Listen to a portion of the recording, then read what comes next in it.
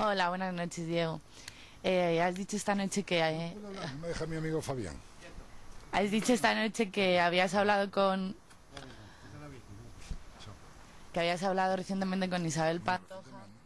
Recientemente, recientemente no, hablé hace un par de meses con ella, de vez en cuando, pues la saludo, le pregunto por su salud, cómo van las cosas, cómo están los niños, pero muy de vez en cuando, ¿eh? Muy de vez en cuando. ¿Y qué tal está? Pues está fenomenal, creo yo, vamos. Ya te digo que hablé con ella hace, hace un par de meses y está bien, está bien. Es optimista y bien de salud, que es lo, que es lo importante. Los niños están muy bien, con lo cual, eh, lo que no quiero que se interprete que yo hablo cada día con ella y que no es así.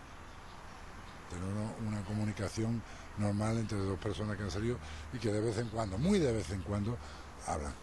¿Tú crees que a ella le ha podido molestar que fuera suya la televisión? No lo sé, seguro que sí, pero bueno, no pasa nada.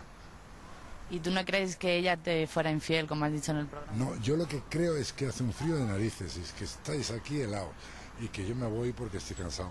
Eh, oye, gracias y, y nada, cuidar. La última pregunta solo, queríamos saber por qué no quieres sentarte con Maite en un plato.